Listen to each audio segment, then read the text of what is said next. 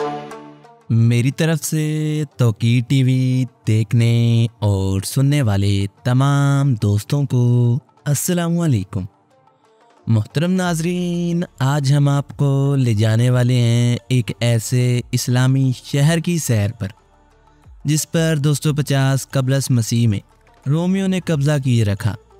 इसके बाद 1140 में यहाँ मुसलमानों ने कब्ज़ा ज़ाहिर किया। आज ये शहर टेक्सटाइल, तामीराती सामान, फैक्ट्री के मवाद और खाने पीने की एशिया के लिए जाना जाता है। इसे इस्लामी तारीख और दिलचस्प इस्लामी विरसे के लिए भी जाना जाता है। इसे एक फौजी अड्डे के तौर पर भी इस्तेमाल किया जाता है। बड़े बड़े मुस्लिम रहनुमाओं के मकबरे यहाँ मौजूद हैं। यहाँ रोमी खंडरात भी देखने को मिलते हैं। इस शहर के पास अपना शाही महल भी है। इसके अलावा नकलो अमल के लिए यहाँ बेहतरीन निज़ाम है। बात की जाए मज़हब की तो इस्लाम को यहाँ सबसे अहम मज़हब माना जाता है। यहाँ लोग दुनिया भर से तारीखी म्यूज़ियम और सियाहत की मकबूल तरीन मकाम देखने आते हैं, इसे शुमाली अफ्रीका में, वस्त के मदीना के तौर पर जाना जाता है, जहाँ के बाज़ार और खूबसूरत मकाम आपको तारीख में गुम होने का मौका फ्राहम करते हैं। जी हाँ दोस्तों, मैं बात कर रहा हूँ अठारह सौ से भी जायद पौधों की इकसाम की सरजमीन की, जहाँ लाइब्रेरी में एक शरियत दो मिलियन से जायद किताबें देखने को मिलती हैं, जहाँ फ़िल्म फेस्टिवल और मेले मनाए जाते हैं। इस शहर का रक्स, महाफिल, मौसीकी और परफॉर्मेंस के साथ गहरा ताल्लुक है। ये जानवरों से मोहब्बत करने वालों की सरजमीन भी है। यहाँ शेर और हाथी पाए जाते हैं। जी हाँ दोस्तों, मैं बात कर रहा हूँ इस्लामी तहजीब का गहवारा कहलाए जाने वाले शहर, रबात की। आज हम आपको रबात के बारे में दिलचस्प और हैरान कन हकायक बताएँगे।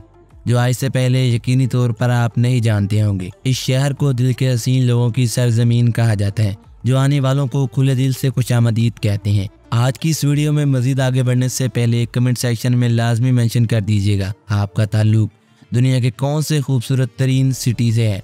दोस्तों रबात मराकश का दारकूमत है, जिसकी आबादी 12 लाख अफराद पर मुश्तमिल है। ये शहर बहरा अकियानूस के साहल पर, दरिया के किनारे वाक़ है।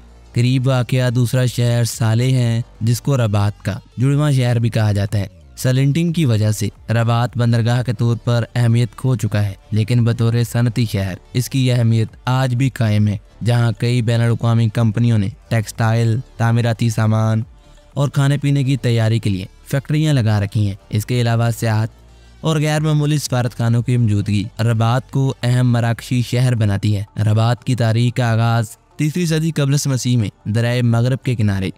शाला नामी आबादी से हुआ था।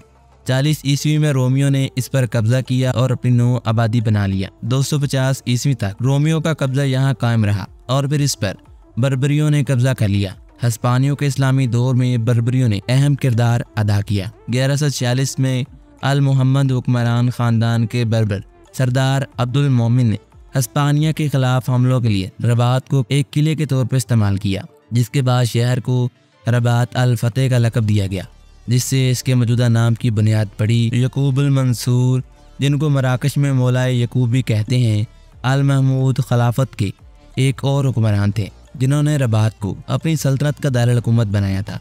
इन्होंने शहर की दीवारें तामीर की और दुनिया की सबसे बड़ी मस्जिद की तमीर के लिए काम का आगाज़ भी किया, जो उनकी वफात के बाद मुकम्मल न हो सकी। नामुकम्मल मस्जिद के खंडरात और मुलहका हुसैन मीनार अभी भी यहाँ मौजूद है। रबात की सरकारी ज़ुबान अरबी और फ्रांसीसी है। रबात में हल्की सर्दियाँ और गर्म गर्मियों के साथ बहर रूम की आबो हवा देखने को मिलती है।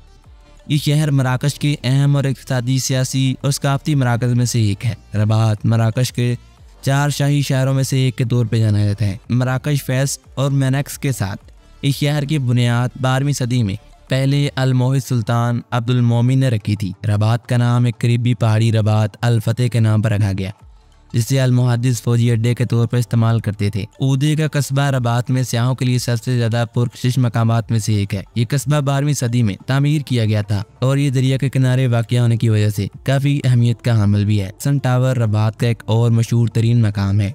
हसन टावर को बारहवीं सदी में यहाँ बनाया गया था, लेकिन कभी मुकम्मल न हो सका। मोहम्मद पंजम का मकबरा। हसन टावर के करीब वाक़ है। ये मकबरा शाह मोहम्मद पंजम और इनके दो बेटों की आखिरी आराम गाह भी है। दोस्तों, चैलिया, यहाँ एक कदीम रोमी खंडर है जो रबात में वाक़ है। चैलिया कभी एक फ़रोग पजीर रोमन शहर हुआ करता था और एक मशहूर सियाती मकाम भी था। रबात का शाही महल मराकश के बादशाहों की शाही रहायश गाह है। ये महल रबात के क्लब में वाक़ है और आवाम के लिए खुला नहीं है। रबात सेल इंटरनेशनल एयरपोर्ट, शहर के मरकज से तकरीबन आठ मील के फासले पर वाक़ है। ये हवाई अड्डा, रॉयल एयर मारोक और एयर अराबिया समेत मुतद एयरलाइंस के मरकज़ के तौर पर काम करता है।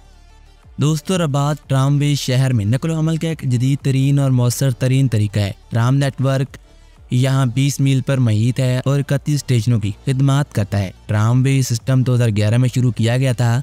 तब से रबात के पब्लिक ट्रांसपोर्ट नेटवर्क का एक लाजमी हिस्सा बन गया है। मराक्षी दरहम रबात की सरकारी करेंसी है। मराकश के दूसरे बड़े शहरों के मुकाबले में रबात में रहने की कीमत नस्बता कम है।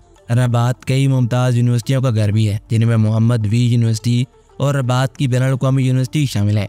दोस्तों, इस शहर में मुतद बैन अवी स्कूल भी हैं, जैसे एक्सपेक्ट कम्युनिटी के लिए, जो एक्सपेक्ट कम्युनिटी के लिए काम करते हैं। National museum of archaeology Rabat में वाक़ है और इसमें कदीम नवादरात का एक वसी ज़ख़ीरा देखने को मिलता है। ये म्यूज़ियम तारीख के शायकीन और सियाहत के लिए मकबूल तरीन मकाम भी है। रबात, मदीना, यूनेस्को का आलमी सकाफती वरसा भी है और शुमाली अफ्रीका में इसे करोन वस्त के सबसे बड़े मदीनों में से एक समझा जाता है। ये मदीना कई बाज़ारों और मसाजिद के साथ साथ तारीखी निशानात का घर भी है। इंदलस के बागात, यहाँ रबात के कलम में वाक़ खूबसूरत तरीन पार्क है।